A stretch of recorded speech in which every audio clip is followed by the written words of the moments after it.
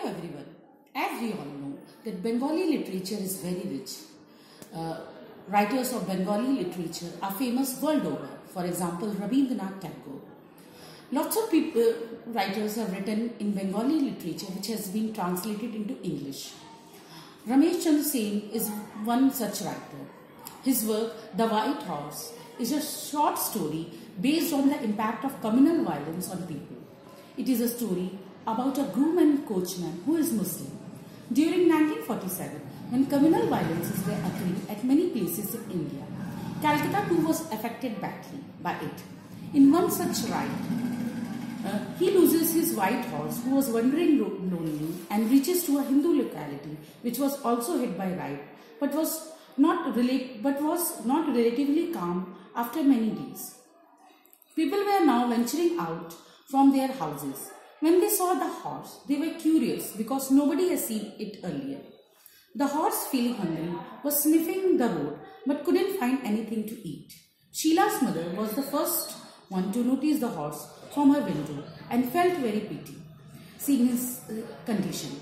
Within no time, the white horse became the center of attraction for all kinds of boys residing there.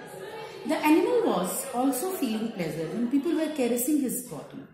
They always speculating his master and food habits. They try to take care of him and play him.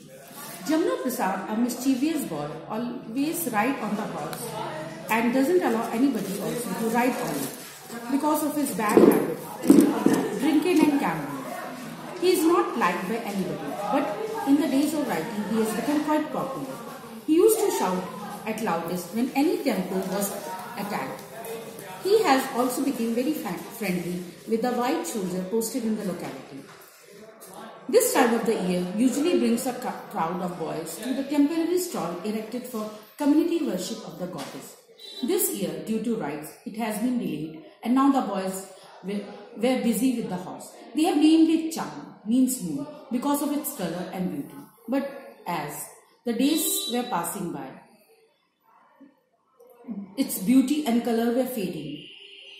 Due to dragging feet, he has thrusted a small sore behind the left hind leg.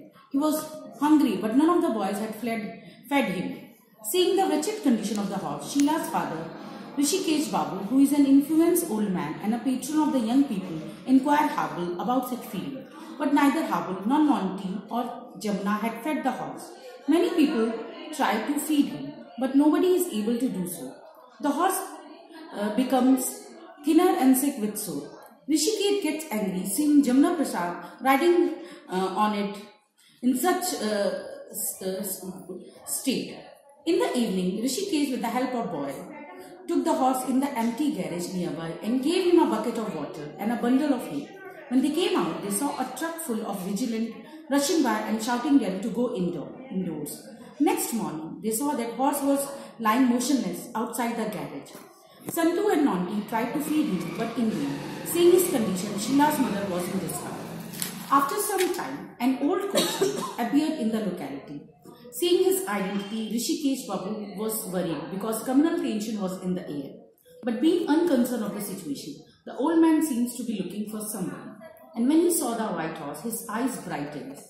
Calling him Sora, he caresses him affectionately. The animal shivers with the familiar search. He, feeds him water and chickpea. After eating, the horse was looking better. When the groom told them he only eats from his hand when he is ill, then he told them about Sohrab's life and how he uh, got him. The old man was nostalgic about the old peaceful days and questioning Rishikesh about it, but he did not have any answer regarding peace. Suddenly, the rumor spread that the killing has been going on in Lalpatti, and the mob rushed into the street, shouting and calling to arm. The old groom was terrified, being amidst hundreds of writers who have surrounded him. Jamna, Habul, Nonti, and other boys make a cordon round the man, and Rishikesh tried to question them. But they were not ready to listen.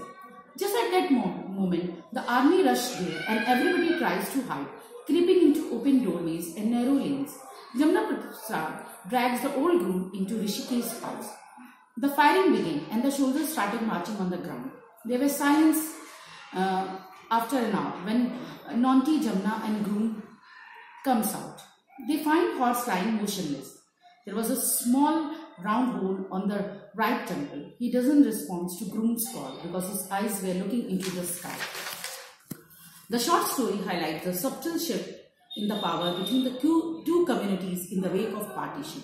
The death of White Horse in the story is a kind of symbol displaying the futility of communal violence and victimization of innocent. Thank you.